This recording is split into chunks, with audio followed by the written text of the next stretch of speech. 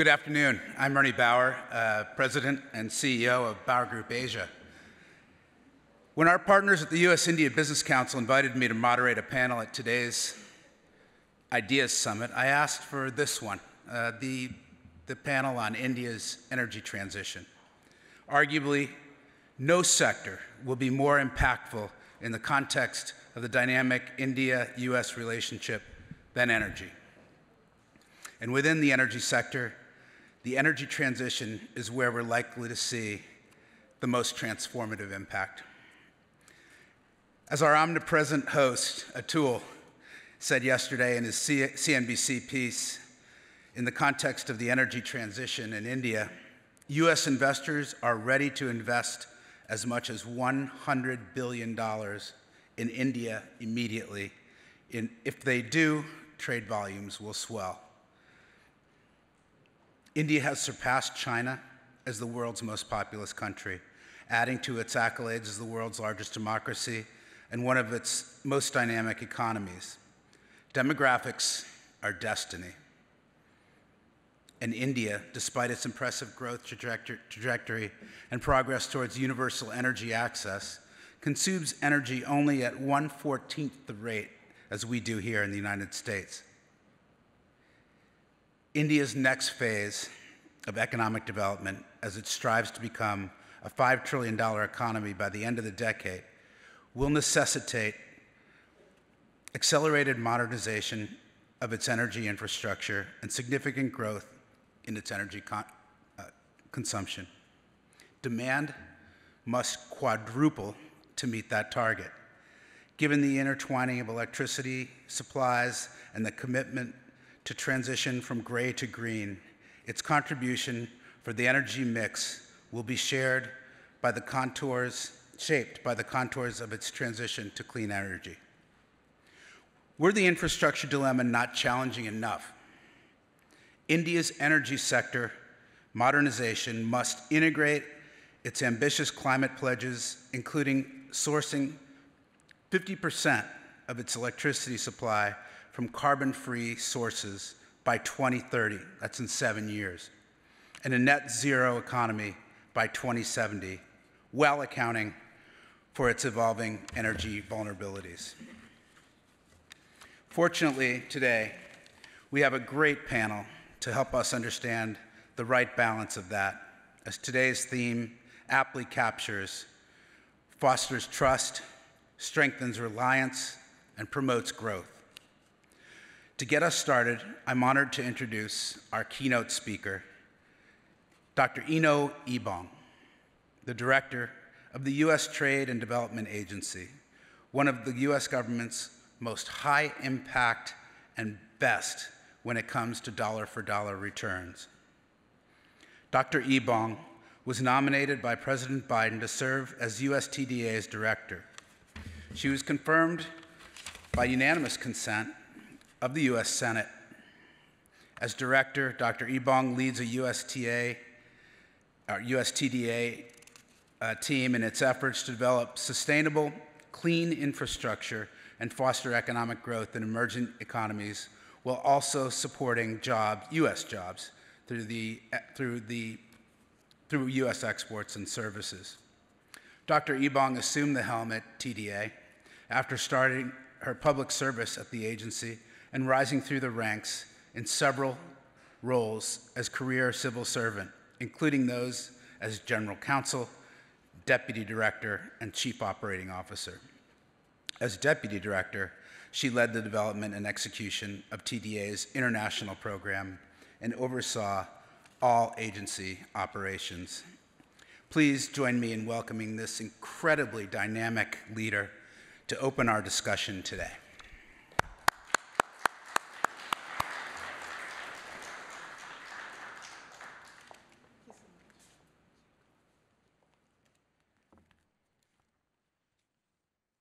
Well, good afternoon, everyone. It is such a pleasure and delight to be here uh, to see all of you. Um, I want to thank first and foremost the US Chamber for hosting us here, and of course to the US India Business Council um, for your always gracious and constructive way of gathering us all together to talk about issues of import and to build on our relationships and partnerships. It really is a pleasure to be here, and, and I'm grateful for the invitation to participate in the US, rather the India Ideas Summit and Annual General Meeting. This was an invitation that I could not resist. The subject of leading the energy transition is a daily conversation at the US Trade and Development Agency, and it's actually the reason that I visited India um, earlier this year. The focus of today's discussion is on innovative pathways to energy security. You know, as we speak about specific technologies that advance this goal, I do think it's important to frame our discussion in the context of partnerships. Uh, and I think this has been a, a theme uh, today. I think it's important in this context because the innovative pathways uh, that we take, I think, will only be successful through innovative partnerships. And this is where USTDA is proud to play a role. If you indulge me for just a few minutes, I, I, I would like to put that in a bit of context. So USTDA has a unique dual mission that includes developing sustainable infrastructure in emerging economies while generating US export opportunities to the projects that we support. Specifically, USTDA provides grant funding for project preparation assistance, including feasibility studies, technical assistance, and pilot projects. And there are good reasons why we do so. These are the critical tools that define the technical requirements for infrastructure priorities. They help attract the investment that is needed to implement sustainable infrastructure projects and create export opportunities for US businesses. At bottom, we are about economic growth in both our countries. We think that the foundation uh, for that is high quality infrastructure which will support jobs in India and jobs in the United States. Our guiding principles, if you will, are mutual benefit and our common prosperity. USTDA also funds partnership building activities between India and the United States with the goals of sharing knowledge, exchanging information, and working with our partners so that they can find solutions for their infrastructure projects. For 30 years, USTDA has been a resource to India's private sector, state governments, and the federal government. We have funded over 200 infrastructure development activities during this period and have become a reliable partner because our program brings the best of what the US private sector has to offer. The flexibility of our mission and our tools and our experience makes us a natural partner then to advance the energy transition in countries such as India. I shared my view earlier that innovative pathways to energy security require innovative partnerships. Here are just a few examples. Uh, in August of 2021, USTDA and the US India Strategic Partnership Forum launched the US Climate Technologies Action Group, or CTAG. This is a public private partnership to accelerate US collaboration in India's clean energy sector and mobilize capital for climate smart infrastructure projects. Earlier this year, when I traveled to India, I had the honor of launching the Interstate Clean Energy Procurement Program, or ICEP. ICEP is a partnership between USTDA and eight Indian states to develop clean energy infrastructure through public procurement practices that focus on high quality and value for money instead of lowest cost. Our eight state partners of Gujarat, Haryana, Karnataka, Kerala, Maharashtra, Punjab, Tamil Nadu, and West Bengal have a combined population of over 500 million people. They have ambitious renewable energy targets requiring billions of dollars in new investment. These states are among India's leaders in terms of installed renewed energy, renewable energy capacity, and we are working with them to help unlock that new investment capital. ICEP is another example of how USTDA builds pathways to deploy the kind of innovative technologies that will strengthen India's energy security. Across India, USTDA is funding project preparation activities with Indian project sponsors, public and private, and with US industry that are advancing the country's clean energy transition. These partnerships, for example, are evaluating clean and resilient baseload power technology for the Andaman and Nicobar Islands, hybrid renewable energy and battery storage technology in Gujarat, and smart grids in Delhi. So this is just a short introduction to an energy program in India that is based on 30 years of history and partnership. It is a great source of pride for us that India's public and private sectors have regarded USTDA as a valuable and trusted partner for the energy sector development and transition. Working with the US India Business Council, I believe that we have an opportunity to deepen our engagement still. USTDA has worked closely with the organizations that my fellow panelists represent, so I look forward to hearing their perspectives on innovative technology development. I will also be listening for opportunities for USTDA to support new partnerships and pathways to India's energy security. Thank you.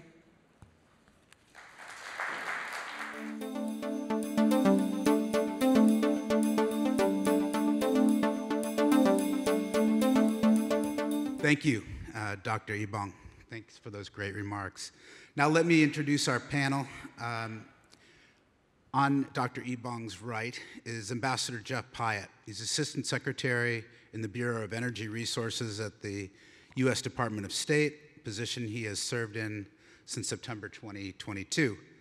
In his storied career, Ambassador Pyatt has extensive personal and professional experience in India, having served three times in the U.S. Embassy in Delhi, the last one as Deputy Chief of Mission. Next, uh, Craig Husa is the Director of Energy at Lockheed Martin. Lockheed Martin Energy approaches climate change as fundamentally an engineering challenge and is leveraging its technology, innovation, and research and development capabilities to meet that challenge. And finally, from India, Mr. Pankaj, Pankaj uh, Sindwani is the Chief Business Officer for Tata Clean Tech Capital.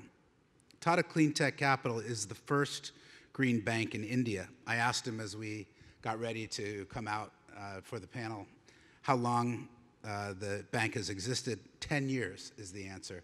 So if you want to if you want to know where Vision is in Delhi, uh, it's right here uh, with Pankaj. He functions as a joint the, the bank fun functions as a joint venture between Tata Capital and the International Finance Corporation. So I can't think of a more talented panel uh, to talk about how India and the US can identify and execute innovative pathways to energy security amidst their transition to a net zero future. We get started. I'll start with you, Ambassador Pyatt. We have a big visit coming up next week. Uh, Prime Minister Modi coming for a state visit. Uh, could you tell us uh, what, what do you have planned? What does the Biden administration have planned on the energy portfolio for that visit? Yeah, th thanks, thanks, Ernie, and thank you so much to USIBC for, for having me as part of this discussion. It's an incredibly exciting time in the U.S.-India energy energy transition, energy security relationship. So I'm really delighted to have this opportunity to talk a little bit about it. Uh, the first thing I, I, would emphasize is just the, the consequential nature of the U.S.-India partnership on these issues. Um, there will be no more important country in the world in terms of driving global energy demand over the next few decades between now and 2050 than India. And there is such extraordinary potential uh, for us to deepen our partnership on all of the issues around energy transition. The United States is very supportive of Prime Minister Modi's ambitious goals for renewable energy generation, and I was making the point to Pankaj and others as we were in the green room that I think this visit, visit is a great opportunity for New Delhi to articulate its own energy vision and, and how convergent that is with the United States. Uh, I think it's extremely important that this happens um, a year after the passage of the Inflation Reduction Act in, in the US Congress, which is really, as you all know, changing the conversation about energy transition here in the United States in all the critical areas that are going to drive our clean energy future in terms of green hydrogen, in terms of carbon sequestration, in terms of expansion of electric vehicles. These are all exactly the same areas where Prime Minister Modi and his government are emphasizing. Um, and then the point I would also make, and it's great to be up here on stage with Enoh as well, because as I look back on my, um, my decades of involvement with the US-India relationship, the thing that's really changed most significantly is the rise of global Indian companies, companies like Tata and Reliance, and the opportunities that that creates for deepening partnership with our leading companies that are also working in this area. I think as we look to the future, I want to make sure that the United States is India's preferred partner on all of these issues of energy transition, whether we're talking about the growth of our, our green hydrogen industries and, and the way in which American companies are leveraging the Inflation Reduction Act and companies in India are leveraging the incentives that Prime Minister Modi has created through the PLI program, the production linked incentives, how we diversify supply chains, de-risking our exposure to China, which is the overwhelming dominant provider of critical minerals, silicon wafers, solar cells, uh, um, wind-powered nacelles, all of the things that will drive the clean energy economy. So we have a fantastic opportunity, and I, I think the biggest challenge that I face in working on these issues is just making sure that our level of ambition in the government meets the moment in terms of what our private sectors are talking about. Great segue. Craig, uh, let's talk to, uh, let's hear from the U.S. private sector. India has a target of achieving 50 percent uh, cumulative electric power installed capacity from non-fossil fuel-based energy resources in just seven years.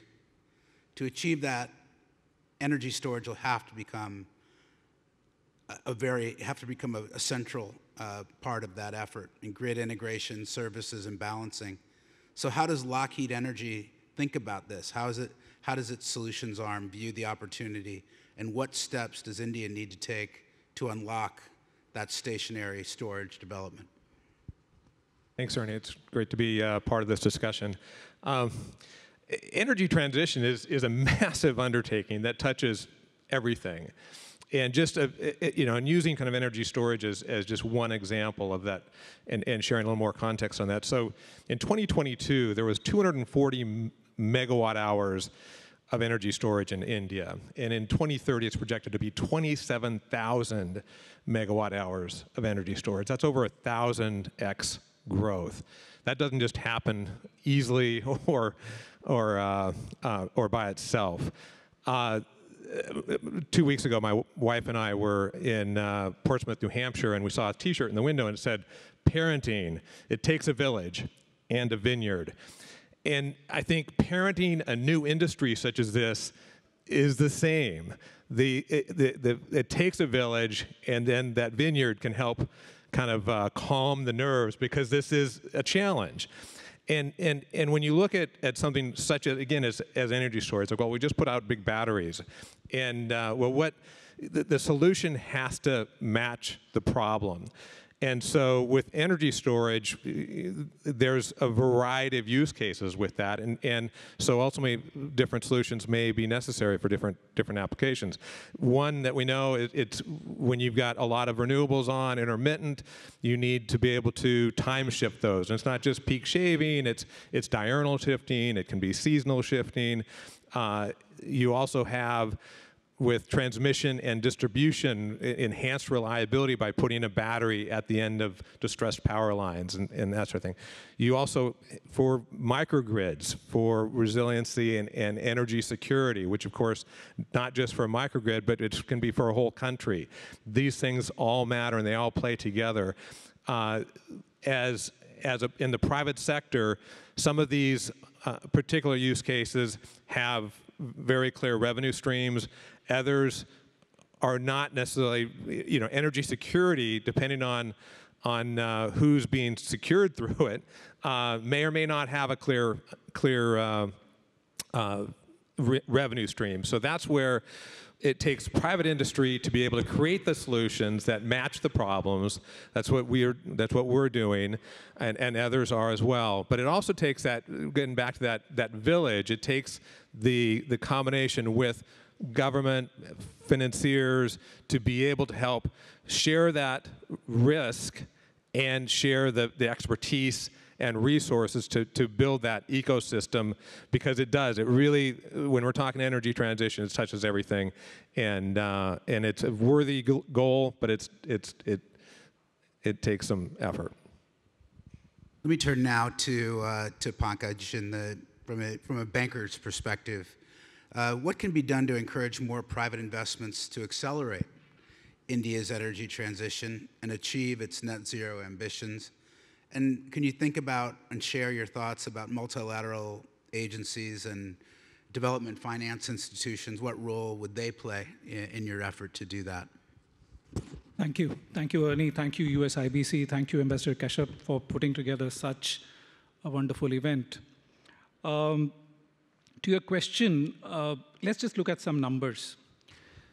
So if you're looking at net zero ambitions of India, uh, uh, and India is pledged to be net zero by 2070, the uh, rough estimates are that India will require $10 trillion. Yeah?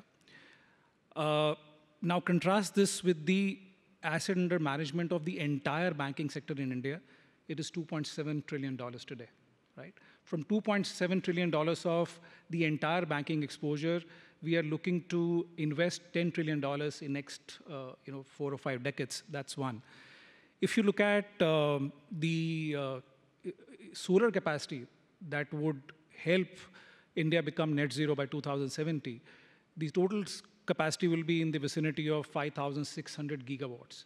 Today, that capacity is 65 gigawatts. So we are likely to grow 100 times. If you look at uh, more immediate targets, say 2030, we are, uh, as Prime Minister Modi has uh, already announced, we'll be, uh, we'll be having a capacity of 500 gigawatt, non-fossil fuel, 500 gigawatt capacity by 2030. Now, that alone will require roughly $1 trillion worth of investment. India's entire mortgages market today is uh, about uh, 300 billion, so three times that investment. So numbers are staggering. Yeah? And uh, when we look at that kind of a scale, the sources of capital will need to be found both domestically and internationally. You would imagine that a country like India, which is growing and which has a lot of other needs also, will always have limited constrained fiscal space to be able to accommodate you know, such huge growth uh, and, and almost this quantum of money only being dedicated towards climate. So international cooperation is a must here. And for that, we'll need to uh, intermediate, channelize a lot of uh, climate money into India. Now, is money really a problem? If you look at the overall uh, uh, you know, size of pension, insurance, and sovereign wealth funds, it's close to, if my, if my estimates are right, $100 trillion. Now, if you compare then this with what India requires, it's a pittance. It's hardly any amount. So why is, why is that money not flowing in, into India? And uh, the, the reason is the perceived risk, perceived risk around, uh, around the country risk or currency risk or the performance risk, but the reality is far different. We started our business 10 years back. We have funded more than 350 projects, and you would be amazed to know only one account is non-performing asset. Our return on asset is best in the industry, right? Almost 3% return on, return on the asset. India has funded roughly 50 gigawatt worth of projects, right? Uh, close to $25 billion worth of projects, not one is an NPA, right? What does it tell you?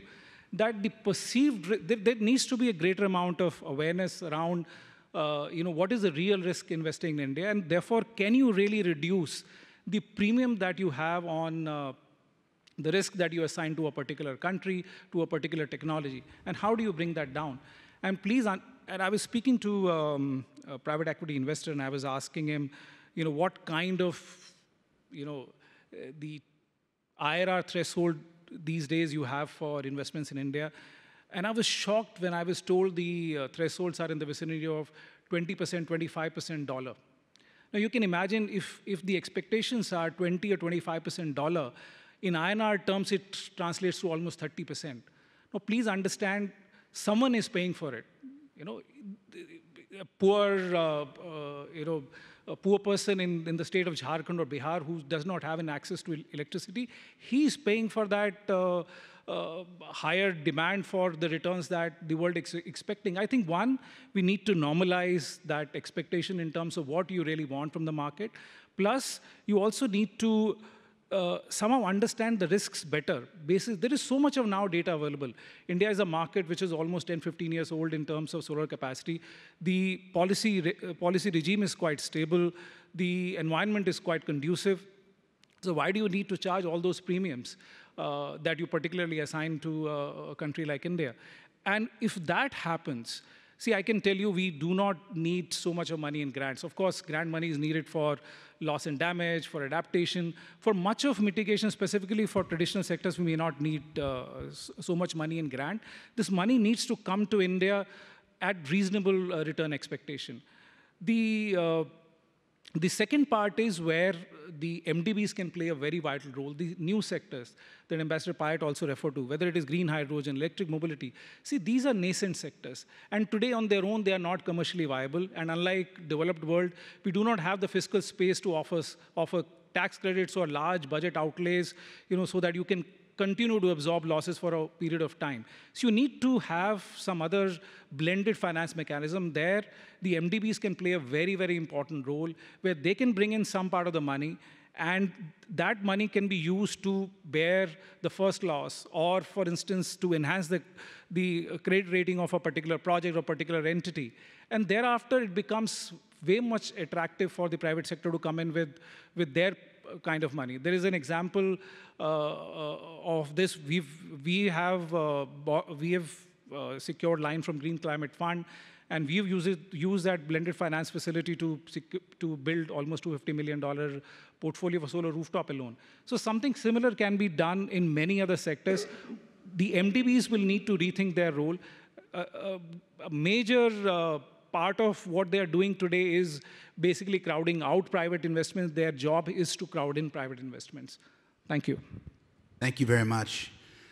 You know, I wonder from your TDA uh, position, uh, you're hearing some eye-watering numbers here. Obviously, a massive op uh, opportunity, and I just want to I wanted to ask you how does how do you think a TDA fits into this mix in the energy transition, uh, innovation in India and, and what role and, and how will you play that role? Thank you so much for that. And I, I want to actually start by piggybacking a bit on what Craig mentioned about the need of an ecosystem and that everyone has their role, government, private sector, innovators, creators, um, and also uh, Craig referenced delimiting risk. And so this is where an agency like USTDA, I think, has great impact um, because we come in at that early stage where there's a concept, um, but it needs to be proven to be able to attract the financing. Uh, and so this engages a couple of things. One, understanding the landscape, connecting with partners, listening to industry, and developing projects uh, that have a likelihood of financing. And so I would say that the role for USTDA is a, a little bit of uh, project sleuth. Uh, it's a little bit of um, knitting together of various parties, um, and it's identifying the um, priorities uh, of the partners on the ground. And it's probably, I think, to highlight the innovative space, helpful to give a couple of examples. Um, so one of the projects I, I, like to describe is, is a project that was brought to us by a, a women-led uh, company called Lanzatech. The company's actually gone public uh, since their first engagement with us that came to us together with the Indian Oil Corporation. Lanzatech is a company that uh, manufactures a carbon capture technology that produces uh, cleaner uh, ways of, um, uh, well, actually helps industrial clients produce cleaner fuels and reduce emissions. And so the Indian Oil Corporation was interested in being able to convert oil refinery waste gases um, into fuel grade ethanol. LanzaTech had this technology. They had the idea, they had the partner in Indian Oil that had interest, but there needed to be a way to prove the feasibility, and that's where USTDA came in, and uh, by grant funding, uh, provided that uh, feasibility study that proved, proved the concept for the location. Um, and then, you know, I, I, always say we may have facilitated LanzaTech's entry into the market, but it's all about their analysis and the technology that caused Indian Oil to be interested and to invest. Um, and now the partners are building a pilot uh, facility outside of Delhi. It's going to help, assuming that it's all proven out, reduce emissions in, in northern India. And I think the role of USTDA was apt. Um, it was early, it was helping to delimit the risk, it was helping the parties um, get what they needed uh, to be able to move the project along. I think obviously the needs are high um, and there's value to uh, the project um, uh, approach. I will say this all does need to be scaled. It's very important that um, we build um, on all these needs and make sure that projects come to fruition. Um, and it's the responsibility of us in government um, to, to be able to catalyze uh, that, that investment and showcase uh, what industry can bring to the solutions. Thank you very much. So, Jeff, we're hearing the challenges are access to technology, the financing and bankability of projects. You're sort of in the middle of tying everything together. Um, what, in particular, could the growing volume of multilateral relationships um, in, in the energy or touching on the energy area, such as the Quad, the Indo Pacific Economic Framework, the International Energy Agency, the International Solar Alliance, there are more. You know, how are your discussions in these forums relevant to the discussion that we're having here to get the technology and the financing together as U.S. and India to meet the needs of this transition in both our countries? Uh, thank you for raising the issue, Ernie. And it goes to something. I mean, when Atul and I were working in the early days of the U.S. India nuclear deal, what we always talked about was how important the partnership between our two governments was going to be, not just in terms of the bilateral relationship, but how our two democracies are seen to be working together on the global stage. And I still think for all of the headaches and difficulties it faced, the most important single aspect of the, the nuclear deal was that the, the fact that it was the first big thing that our two governments were ever seen to be doing together. Today, we've got a lot more of that going on. Uh, one great example in the renewable space is the International Solar Alliance, which the United States is supporting, but it's an Indian led initiative bringing scalable solar technology to Africa and other developing countries. Another great example where I hope we will see progress in the weeks ahead is an effort that my bureau leads at the State Department, the Mineral Security Partnership, which is aimed at building high ESGs and coalitions of countries that are interested in creating what Secretary Blinken likes to call a better offer for especially developing countries that have the, the critical battery minerals that are going to be so important to our energy transition. Um, so there's lots of scope, I think, for the U.S. and India to work together on that. You mentioned also the international, the IEA, the International Energy uh, Agency, and again, this is an area where the U.S. is supporting India's aspiration to play a more significant role in the IEA, reflecting the fact, as I said earlier, that if you look at the IEA numbers, there is no more important country in the world in terms of what global energy markets are going to look like over the next three decades than India. So I think that just goes to the point that at a strategic level, in terms of what we seek, there's a very high degree of convergence between the United States and India.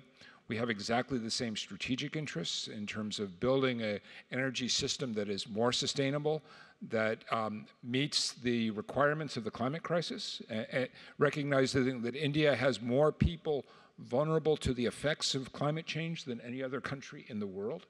Um, and the understanding that how we work together, whether it's on green hydrogen or small modular reactors or diversifying solar supply chains, is going to make a critical contribution, not just to the pace of energy transition here in the United States or in India, but also how we deploy globally. And I, I you know, just to finish on this point, one of the things that comes with living in Delhi for, for seven years is you realize that the Indian system produces solutions that look very, very different from what somebody sitting in Washington or Chicago or Los Angeles or Seattle would come up with. But oftentimes that's a solution that's much more suitable to a developing country environment. So this is a very powerful force multiplier, which is about building opportunity and sustainability, not just in our two countries, but really um, across the global picture. Themes developing here, trust, resilience. And when you talk about resilience, Craig, maybe I could maybe I could come to you and, and ask you to talk a little bit about supply chain resilience. Um, given the concentration uh, at various stages of the lithium ion battery supply chain and concerns about adequate raw materials, um, Jeff just touch, touched a little bit on these. How will battery technology innovation help improve supply chain resiliency, and where does that fit into the ecosystem we're discussing? Great. It's really a, an important, obviously, question uh, that starts at the very start of the inception of the technology. Uh, in the lab, you can have uh, a variety of different components to that technology. You can have table scraps. We have, uh, you know, a lot of interesting things going around waste to, to energy. But, that, but you have to continue and look at the whole value stream of and, and use cases I mentioned before, you know, the environmental uh, locations that these will be operating in and, and, and the scale. And so with lithium ion batteries, they've been established, they're, they're good, people know them, but there is an issue with availability of, of, of uh, some of the elemental components of them and just a challenge. They're, they're in certain locations that are not always easily accessible, not uh, accessible in in uh, some proper ways sometimes. There's uh, other issues around uh, just performance around a little thing about catching fire. Uh, and so you look at, at alternatives, and there's a lot of a lot of work being done on alternatives. And so with at, at Lockheed, we had a bunch of big brains in the back room thinking about, okay, what if we were going to invent the, you know, something that would not have supply chain issues. Okay, so ours is based off of earth abundant metals. It's commonly construction material, uh, in, in food uh, additives, commodity chemicals. So you start there, and, and then as you're building that as the base level of the product, then you have to look at how that's going to be be operated because it's not just those those kind of in our case the precursor chemicals that go into the chemistry of the battery, but then you look at okay, there's kind of three components of it. It's, it's some of those proprietary components, some of the kind of other special components, and then the balance of plant. So the balance of plant can, you know, when you're looking at supply chain, uh, you know, and we look globally. And so when we're looking at, at India and being able to set up supply chains, which we're, which we're doing and looking to do even further, some of the balance and plant things are kind of the easy part. Some of then the next next level is the you know because it's pumps, it's pipes, it's it's uh, it, it, it uh, it's tanks. Uh, then you start looking at some of the special equipment that you are optimized off of, inverters and some of the control uh, equipment, and those can be you know, those can be found too. You may need to work with some of those supply, suppliers to be able to optimize it for your solution. And then you go to the proprietary things. And so, you know, our electrolyte is our special sauce, is one of our special sauces. We actually already are working with a manufacturer in India. But as we're looking to scale that, it goes back to how do you, uh, you know, this is a new, new product, and most suppliers don't want to just scale on a vision. They want to be able to see a contract. And so that's where we mitigate the risk with partners around financial partners and um, and around the uh, you know government regulations to be able to help support that. So so really, supply chain is a very complex beast that can be optimized in a variety of ways, starting early on, and uh, and I think it takes it takes that village to do that as well. Speaking of villages, India has taken the lead on, on the issue of climate finance in international forums. And as president of the G20 this year, Pankaj, India's intent on elevating commitments and contributions of the global north to uh, address climate change, climate mitigation and adaptation for the global south.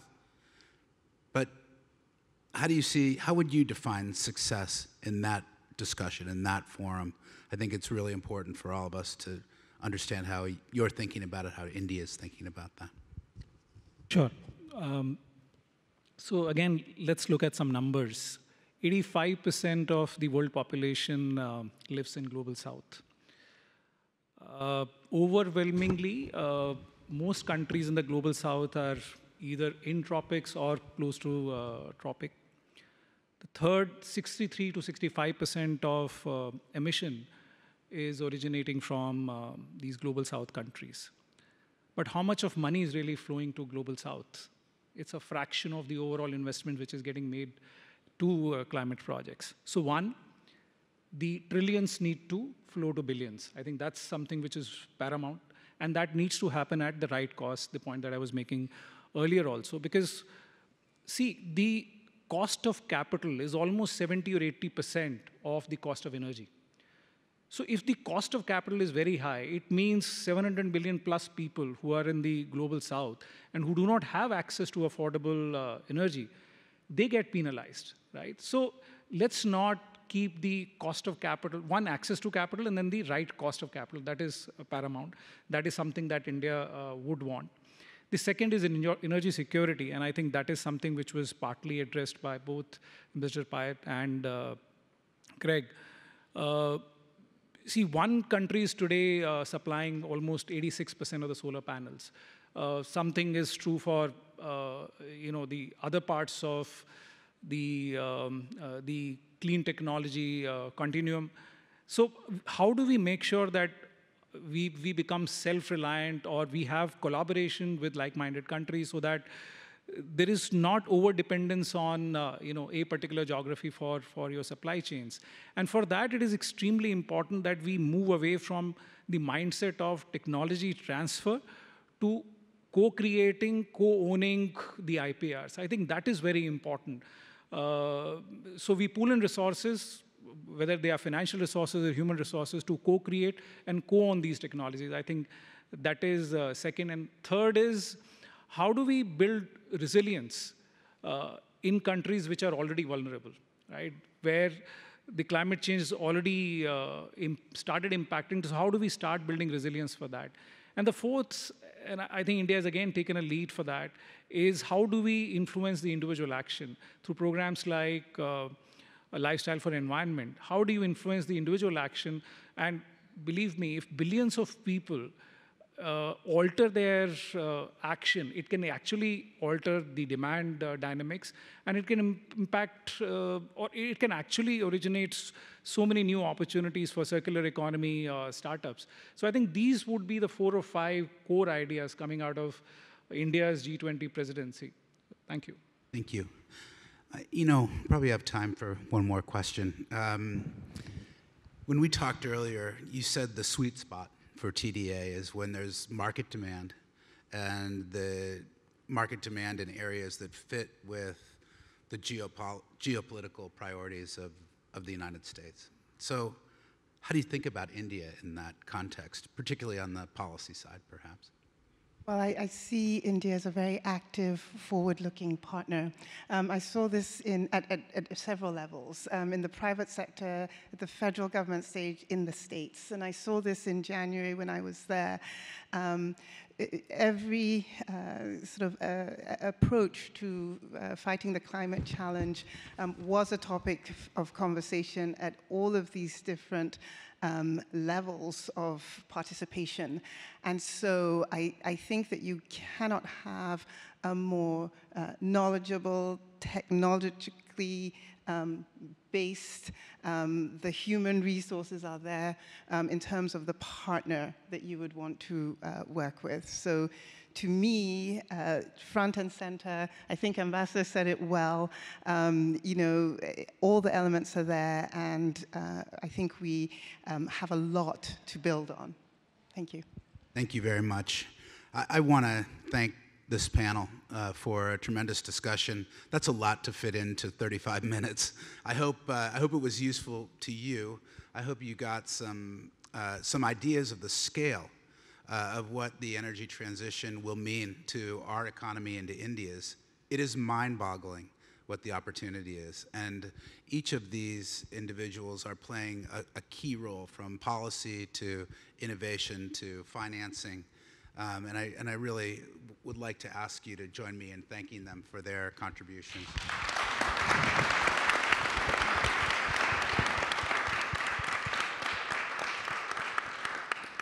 I also want to thank uh, Atul and the, and the U.S.-India Business Council for an outstanding event, to have the, to have the ambition to put something this, this wide-ranging and, and complex together and do it with what looks like um, ease and, and, and just it's running very smoothly. Congratulations to you. I also want to say thank you to Sid, who I don't know how many hours he put into this, uh, this panel. Thank you, Sid.